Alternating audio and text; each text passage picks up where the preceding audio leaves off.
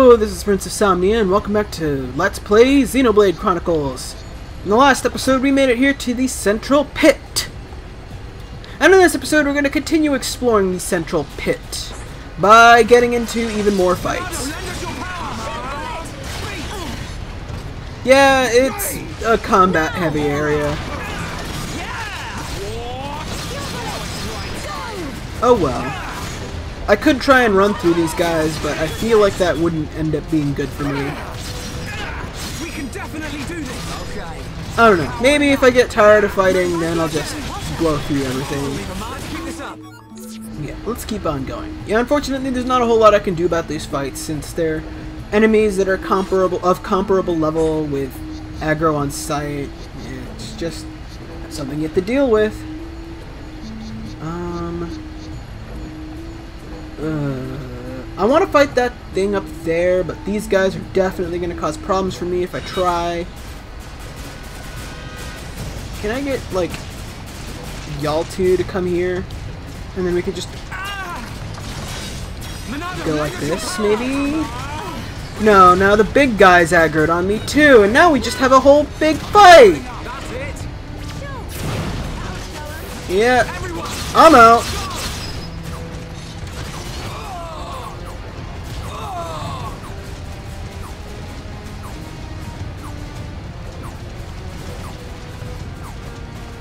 Let's head over this way first.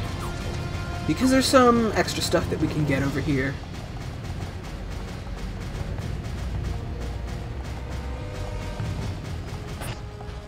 There we go. You just gotta run far enough away and they'll stop chasing you. Which seems a little bit weird considering that Mechon are kinda hell-bent on killing us all. I would have felt like they would chase us to the ends of the earth if they wanted to, but I don't know. Gameplay story segregation, I guess. We can climb up this wall of uh, weird-looking vines over here. Just don't do it for the vine. And collect ourselves some earthy... Er Wow, I really can't talk today, can I? Earth Ether Crystals, not Easter Crystals. It's like a reverse lisp or something. Where I mess up my, uh, with... But anyway, let's actually move on with the area now. There's a lot of branching paths like these, and I figured I might as well just collect the Ether Crystals here while I can.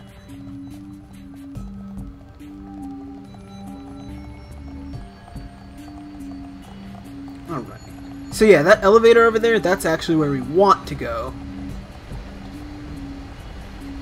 I just didn't run that way because I figured bad things would happen to me if I tried. Ooh, an M32 transport unit. I think these things have a pretty good chance of dropping some good things. Regulation piston. Okay, it's not a lift per se, it's a piston.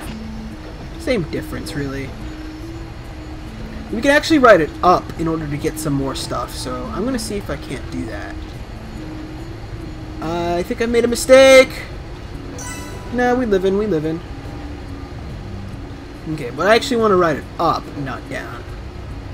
You want to be careful when trying to board this thing. You probably want to board it while it's rising instead of while it's falling, or else you might find yourself getting hurt. A lot.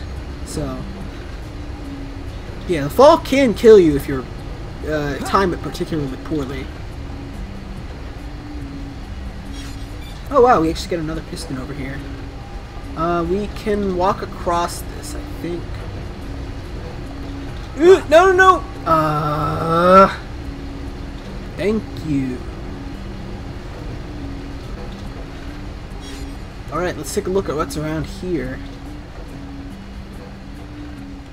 Uh, more M32 transport units. It's kind of weird how the transports don't have any sort of aggro conditions. Yeah, I don't care. We're, we're, we're running through. I'm done fighting today. Uh, we've got more enemies here. Uh, okay, there's nothing back there, so I can just do this. Hooray for instant aggro cancellation! What do you mean that's totally broken? I mean, you're right. These guys are just gonna... Yeah, that's what I thought. Man, that's cheesy. Alright, uh, give me my ether crystals.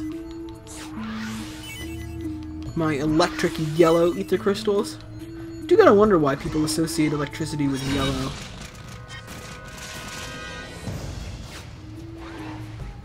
I kinda wonder where, like, that came from, you know? I mean, there's also, like, purple electricity and blue electricity, but yellow electricity I see a lot, too.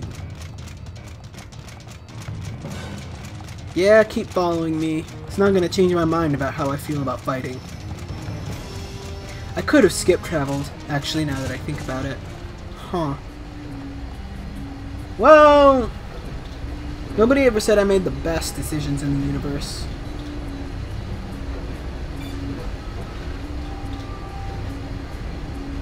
Um, actually it looks like the other lift takes us to the optional area. I think this is the lift we need to take in order to move on with the game. So that's kind of interesting.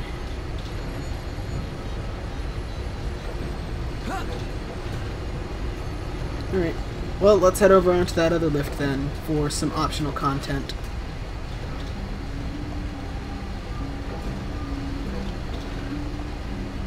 Yeah, I should have skip traveled. Oh well. Uh, let's wait for it to start rising a little closer or else it'll kill us. This must be like one of the most unsafe lifts in the universe. Okay.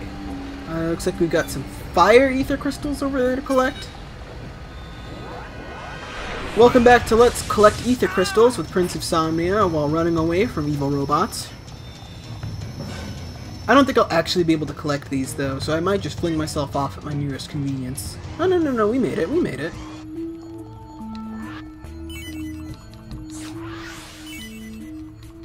I will still fast travel back though. It's faster that way. That's why they call it fast travel.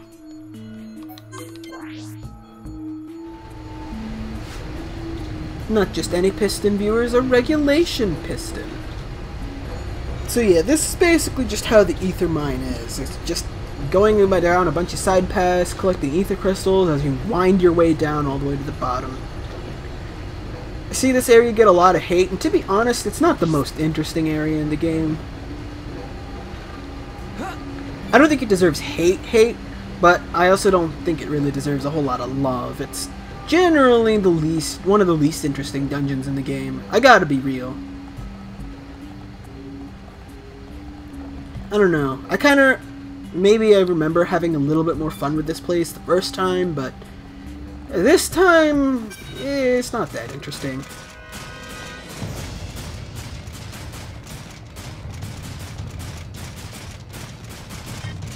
Bye!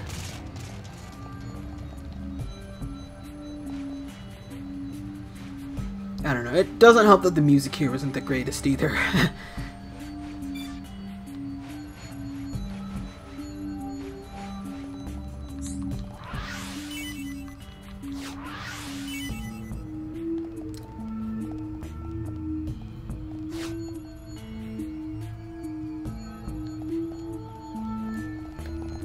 Oh, crap.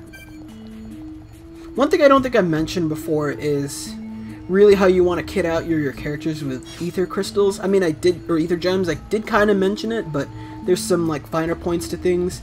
Uh, interesting thing about Shulk, actually, in and his Monado arts is that Shulk benefits more from Ether Up than you might ordinarily think. As it turns out, Monado Buster actually deals damage based on Shulk's Ether stat, as well as his auto attack damage, which is boosted by Strength.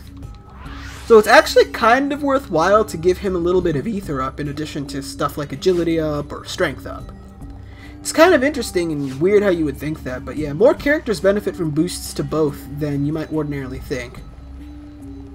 Although, yeah, Reyn is very predominantly a physical fighter.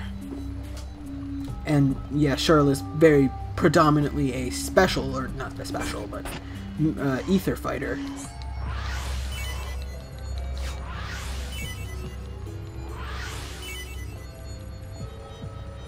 But yeah, it's just one of those interesting little uh, details, or tidbits, I guess. It just kind of makes sense, considering the Monado is like a blade of energy and all that stuff, so I guess it would make sense for Ether to boost that power.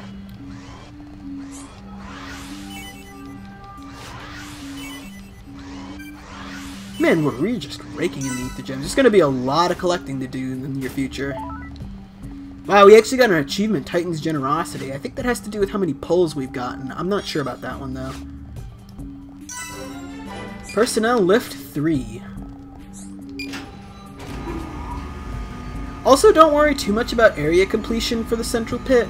Uh, the pit itself, you'll basically visit every landmark and area as you go through the dungeon. So, if you're going for 100% area completion like I am, it's not too much to concern yourself with. Speaking on that front, I, I did say I would eventually be releasing area completion videos.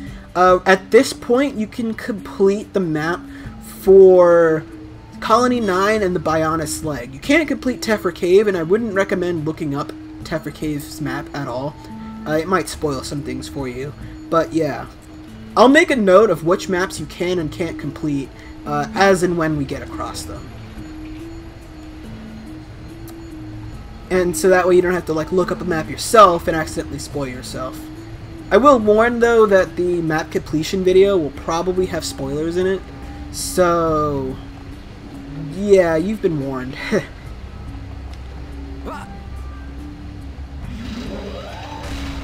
Uh-oh.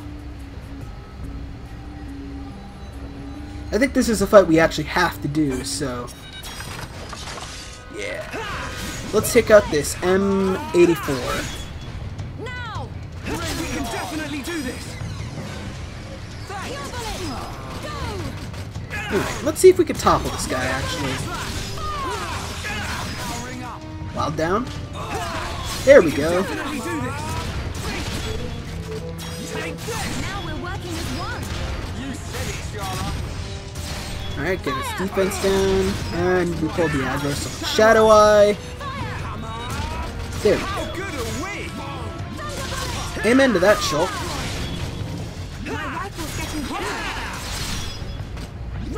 I don't think I mentioned this when I talked about how vision warnings work either. I guess I'm kind of just casting about for topics at this point. Uh, when you warn someone about a vision, it does deplete the uh, party gauge by one bar.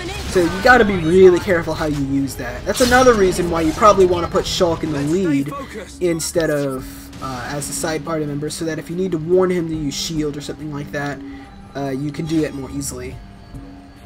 I guess another thing I can say about Monado Arts is that Monado speed only affects physical arts. So at the moment, if you get a vision about Ether Arts, there's nothing Shulk can really do about that. Not that I see very many visions about Ether Arts happen.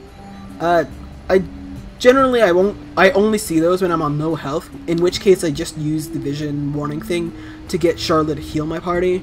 But other than that, I don't think it's much of a big concern. When it comes to gear, we have light, medium, and heavy armor, of course, like I mentioned before.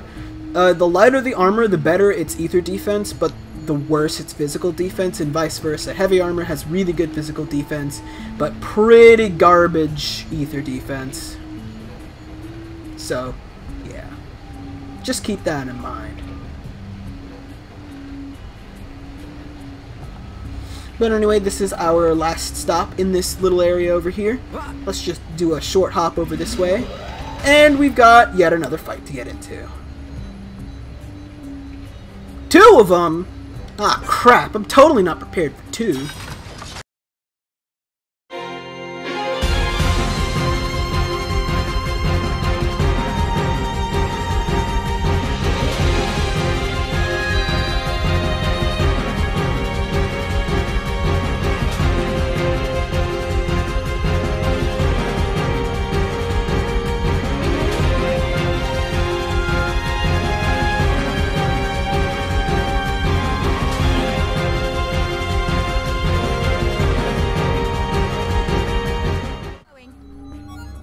Okay, that time I guess they just decided not to chain spam cylinder hand 1 and just screw me that way, so that's nice, I suppose. It's not something the game warned me about because it didn't do enough damage to get a vision, which is also kind of upsetting, but whatever, whatever. We've made it past them. This is where we need to go in order to progress with the plot, so that at least is nice. Ooh, collectibles. Ooh, a piece of candy. But alright, so beyond this point is kind of like a point of no return, essentially. Uh, it'll be boss time from here on out, and uh, then the mine will basically be closed off forever. So, in the next episode of Let's Play Xenoblade Chronicles, we're going to be heading down into the Ether Mine to see if we can find that bronze-faced Mechon. See you guys then!